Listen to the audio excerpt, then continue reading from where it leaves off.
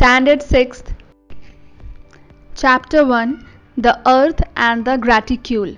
Make friends with maps. Observe, figure, and answer the following questions. In which city is the Taj Mahal located? In which continent is the Taj Mahal located? In which direction is the Taj Mahal located? For Graham, in St. Petersburg. For Katya, in Kimberley for Michiko in Tokyo and Minakshi in Port Blair. Graham, Katya, Michiko, Natalia, Minakshi, Shahid and Enrique have answered the above questions differently using directions and subdirections.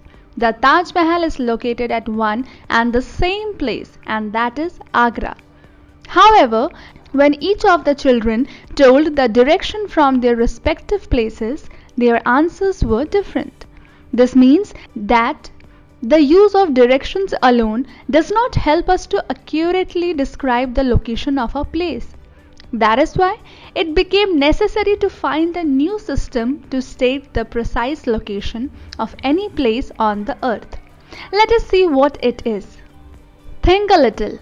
Observe the globe. There are some vertical and horizontal lines on the globe.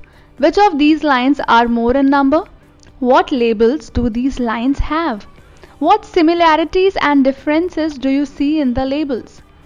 Figure shows the lengths of the east-west and north-south diameters of the earth. They will give you some idea about the size of the earth. Geographers developed a miniature model of the earth in the form of a globe.